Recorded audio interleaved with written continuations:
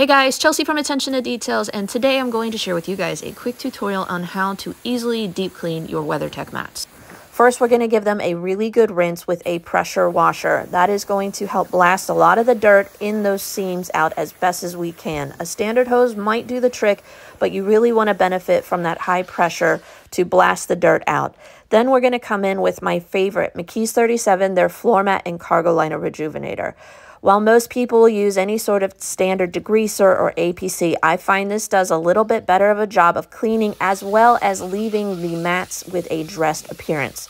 If they're not too dirty or you don't have a lot of mud or clay or road salt, this oftentimes is all you need to deep clean your WeatherTech mats.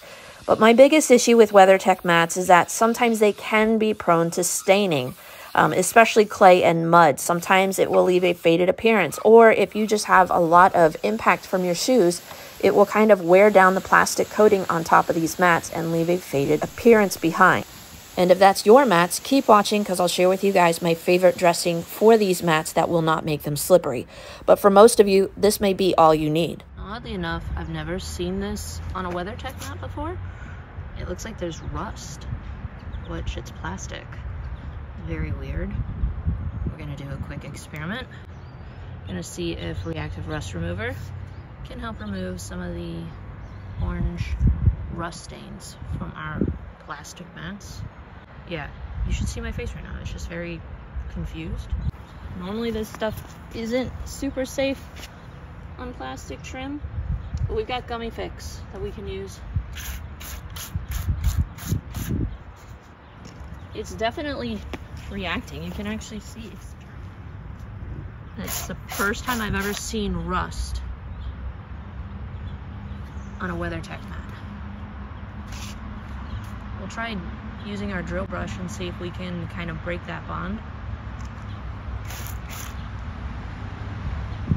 That is definitely very bizarre. Now, while this may not be a common problem that most people are going to see on their mats, I wanted to include how to address an issue like this for the off chance that you might have this issue.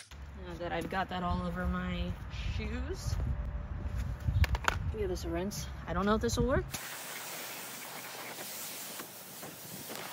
And it looks like we removed the rust. God damn it worked. Sometimes I impress even myself. But who would have ever heard of rust on a WeatherTech mat? But we definitely want to use our Gummifix afterwards to dress because I have a feeling we'll still have some light staining. There was a lot of salt, a lot of mud, and these mats just kind of have like a, a faded appearance in general. So we're gonna go ahead, let those air dry in the shade, and then we'll go ahead and dress. We're going to use Koch Chemie Gummifix to dress our mats. This is a solvent-based product, so make sure you have good ventilation, but this will leave your mats slip-free and it won't attract dust. In comparison to our mat that hasn't been treated, you can see where the customer shoes have kind of rubbed off the clear coat. We have a faded appearance. And then on our treated mat, we've been able to remove that. You can see how we were able to restore that like new luster. And even though they are clean, we do have a little bit of fading still.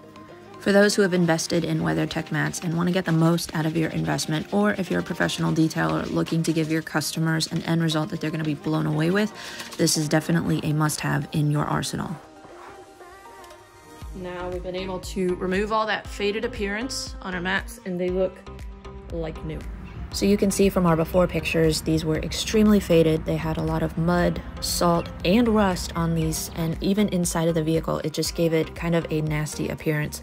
Afterwards, everything looks nice and fresh and clean. It's really going to give you that wow factor for your WeatherTech mats.